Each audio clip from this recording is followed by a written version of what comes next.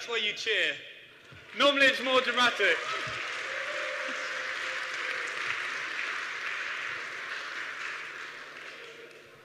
So welcome to OpenStreetMap, to State of the Map. Um, sorry for the delay. Normally I start more dramatic than that. Um, and so if I hit my slides. Um, here we are at State of the Map. I'm Gregory. Um, do come and say hi to me during the breaks. I'm nicely wearing one of the green badges that you can get from the desk. Um, I also want to say hello to the people watching the live stream. I think you can now hear me. Um, if not, you'll be tweeting, and we'll get onto that.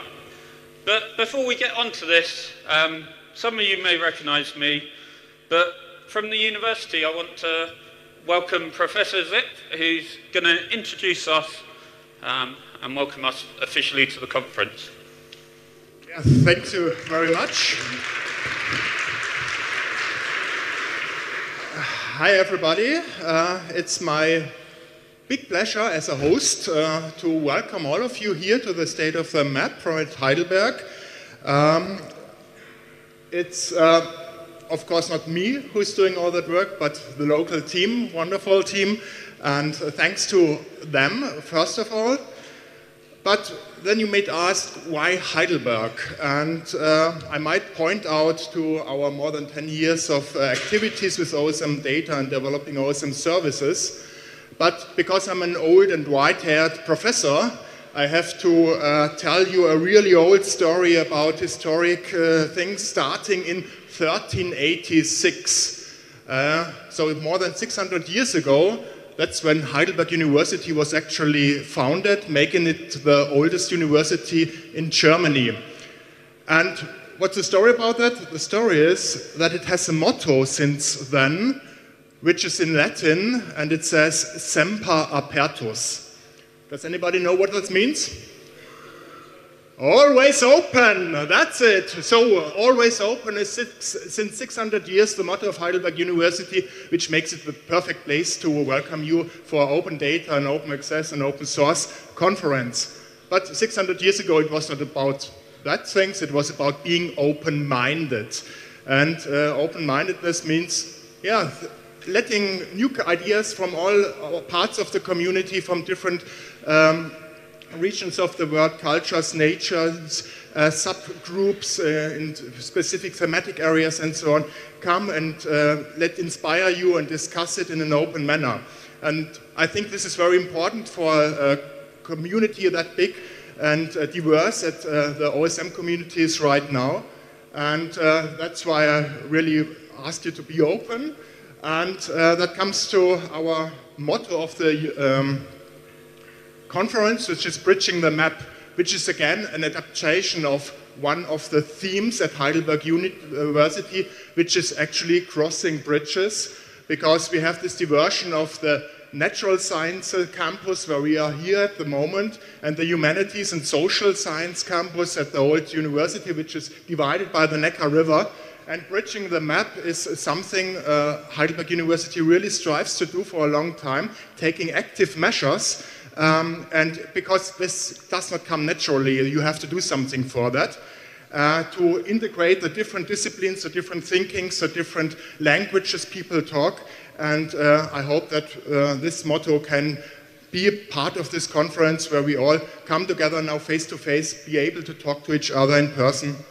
And um, yeah, uh, bridging the map.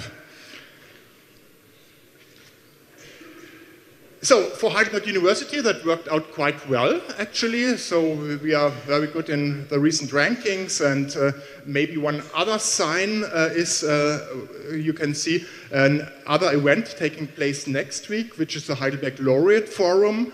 That's an event where Nobel Prize winners, Turing Award winners, and field medal winners gather together uh, in a yearly meeting and if you are on your pub uh, crawl this evening or over the weekend, it's quite possible that you bump into a Nobel Prize winner. And uh, so we are in very good uh, company. Um, and that shows that uh, together we are stronger, that uh, when we really try to bridge the map and being open, uh, that this is possible to a successful future. Yeah, future that's the third and last theme Heidelberg uh, has in its logo, it's written Zukunft seit 1386, so future since 1386, looking towards the future, being progressive, shaping the future, but with a knowledge and background what, where you come from. And future is, of course, also the theme of the day with Fridays for Future, Scientists for Future being active for climate strike. And uh, of course, GIS, maps, geodata, geoscience methods, and for that reason also OpenStreetMap has some role in that. Yeah? We know that it's important that we can um, measure and uh, model the environmental issues uh, with maps, with geographic information, with geographic techniques. So we don't want to overstretch the goal of OpenStreetMap, but it has a little role in it. Some examples from our side at Heidelberg University include, for example, the climate protection map, the Klimaschutzkarte, or the or Open Fuel Service, which is a service that calculates fuel consumption and also uh, emissions causing air pollutions from cars along the routes. Uh, being integrated in the yeah, first OSM route planner Open Route Service, or generate land use maps from OSM and remote sensing data, combining that with machine learning and so on. So we think that uh, OSM can be, to some degree, part, part uh, to provide better data, to make more informed decisions also about our future. And this is, was also a big topic and heavily discussed in the HOT Summit uh, over the last few days already. But now I think it's actually time to get the study party, party started. Go, be open, semper apertus, and bridge the map for a more climate-friendly future maybe. Uh, but first of all, enjoy Heidelberg, have a good conference, and all the best.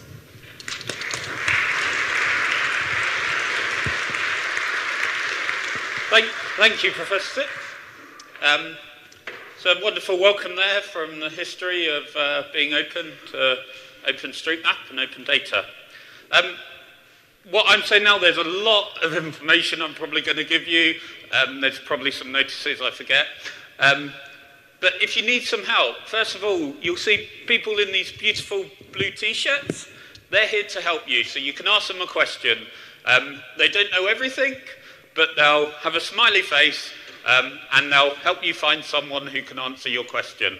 Um, so if you're unsure, if I've told you too much and you've forgotten it, um, go find one of them, that includes me, um, and they can help you. Um, you can also look at your booklet. I've scribbled over mine to say which talks I want to go to um, and, and, where I need to be. so look at your booklet, it's got helpful information it's got maps, it's got other things in there. Um, you can check the website as well, which has up-to-date information. Um, and there's some boards outside um, in the foyer. Um, the orange boxes on there are changes from the booklet. So maybe you just want to scribble on and update your booklet to be the most up-to-date. Um, things happen and, and we have to change things. Um, there's also the Giga app has the schedule in there as well. Um, so lots of ways to find information um, and hopefully we can help you. Um, and if you're really struggling to find someone in a blue t-shirt, you've all come past the welcome desk where you registered and there'll always be people there. So we're here um, with the theme Bridging the Map we want to make friends and support each other. You know, there's lots of us here. We've all come from different places, whether that's different countries, different backgrounds, um, which is really great. Um, some of us on one of the tour guides went into a museum and the lady asked where we're from and we had the UK, we had Germany, we had Switzerland, and this lady was going, oh, and, and where are you from? Malaysia. Oh, and where are you from? Greece, oh, and it was really exciting, and I think she was quite impressed. And I really love that in our conference. Um, we've got code of conduct to, to kind of show our commitment to trying to provide a safe and inclusive space. Um, and it just kind of says we want to deal with things. Um, if you're struggling, maybe if you felt uncomfortable or unwelcomed, um, then, then we want to know about it so we can sort it out or, or find out what the, the issue is. Um, and so to avoid that going to too many people, if there are issues, we want to deal with them sensibly rather than things just spreading. Um, the Code of Conduct volunteers and myself, Gregory, and we have Christine sat down here if you can wave to her. Um, so so we, you can come to us um, if you've got anything you want to talk about. Um, on that. And, and if you're unsure, as I say, you can find someone in a blue t-shirt. Um, they'll look after you and they can guide you. They have ways of contacting us um, if it's something you need to get someone. They'll also help you should you, um, should you feel unsafe. If you want to know how to get back to your hotel, they can help you with transport or, um, or, or should they need to, you can, they'll put you in touch with the local authorities and help you there. Um, but most of all, let's all be friends. Let's say kind things. Let's have a great conference. Um, some of you will feel uncomfortable if you're not connected. Um, so the Wi-Fi details, if you connect to the Wi-Fi network, you need web access and go to the website. On the back of your name badge, there's a username and password that you can log in for your free Wi-Fi. Um, it's tied to your name, so don't share it. Um, but that should all work. I've connected fine. Hopefully you will too. Um, and we want to thank our sponsors. Um, so we have Baden-Württemberg, um, Ministry of Transport, that we'll be hearing from them in a moment. Um, and we've got, so they're the, the Baden-Württemberg, it's the region of Germany we're in. Um, and, and they kind of help oversee the transport. Um, Mapbox, um, I hope you've heard of them. They're a big name in the OpenStreetMap world and the geo world. Um, they've got a few talks um, scheduled in uh, this weekend by their staff. Um, very interesting, and they've got stand outside. Um, Microsoft Bing, you might have heard about them, and maybe Facebook. Um, Facebook has a, have a talk. I'm not actually sure Microsoft Bing do. All interesting people, and we wouldn't be able to run a conference like this it, it takes a long time. There's things that cost money most of all. Um, and so they help us. They also help, along with the other sponsors, um, to support the scholars that come. So um, there's a few of you here will have not been able to come to this conference if you couldn't have support with the flights and the accommodation. Um, so we thank the sponsors for those. Um, cool. So there's a lot to expect to say. This is a very packed booklet. Um, so there's talks, there's workshops, maybe you've looked through and you're starting to see the ones you want. There's an academic track. Now the academic track has been kind of reviewed and there's proceedings and it's all very um, good if you're academic, it's, you know, professional and, and great in that. Um, I'm not an academic really, I try and pretend to be sometimes. Um, I can still go to those talks. If you're interested, there might be a talk you want to know, what research are they doing or have done um, around open geodata, you can go to the academic talk and, and go in there. Likewise, anyone who's just come for the academic track, come to the other talks. Um, and it's really great to see that bridging different communities. Um, and, and make sure you move around um, and go to different tracks. Um, we have a few traditions, so we have some bookable spaces, which used to be called Birds of a Feather. So there's lots of different groups within OpenStreetMap. Um, perhaps you're trying to do some riverboat routing and you want to find a solution and you want to see if there's other people working on that you can propose a bookable, you can use the bookable space to propose people get together and discuss that. Um, maybe you enjoy mapping parks and you want to know if there's other people and you can learn from them. Propose a session. Um, I won't go through all the possible topics, it's endless. Um, and if you want to um, use the bookable space, there's a flip chart out in the foyer by the job board, so it's kind of on the back of this wall opposite the welcome desk. Um, and you can go there and write your name up on a slot. And I think we're going to make a sign up for lightning talks later. Lightning talks are kind of five minutes, very snappy talks. Um, so you can come with slides, you don't need to. Um, but it might be something cool that you want to share or that you've done, but you weren't able to kind of propose in time for the official call for sessions. Um, so you can do that in the lightning talks.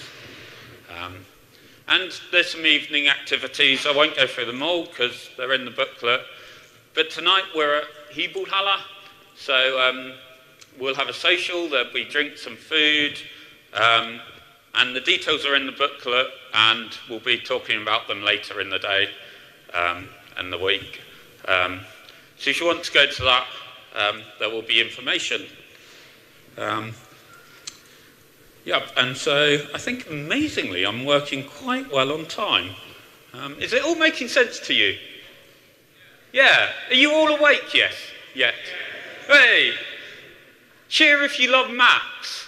Way! There we go.